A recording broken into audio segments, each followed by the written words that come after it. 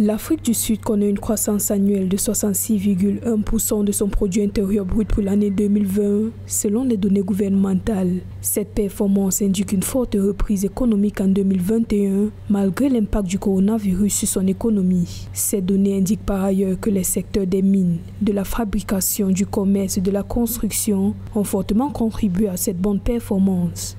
Le fort rebond de la croissance du produit intérieur brut confirme l'approche que nous avons adoptée à la fois pour faire face à la pandémie et pour protéger l'économie. Notre tâche est maintenant de veiller à ce que cette dynamique soit maintenue pour permettre une reprise complète de l'économie. Ainsi, cette croissance économique s'explique par l'augmentation d'environ 13,5% du produit intérieur brut local au troisième trimestre 2020. D'après les autorités, cette performance est en réponse à une croissance négative de 51% enregistré au deuxième trimestre 2020. Si la nation arc-en-ciel veut maintenir alors cette trajectoire de la croissance, il est donc important qu'au-delà des effets conjoncturels liés au choc endogène et exogène euh, des différents marchés, que l'Afrique du Sud puisse mettre en place euh, une véritable politique euh, permettant de renforcer la gouvernance économique et de la rationalisation des ressources et de la distribution. L'urgence la plus importante, évidemment, c'est la lutte contre la corruption.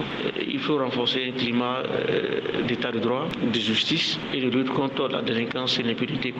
La reprise de l'économie sud-africaine a été attribuée à l'assouplissement des restrictions liées au Covid-19 et au plan d'urgence mis en place pour soutenir les entreprises affectées par la pandémie. Malgré ce rebond, l'économie sud-africaine est toujours en récession de 5,8% par rapport à la fin 2019 selon les autorités.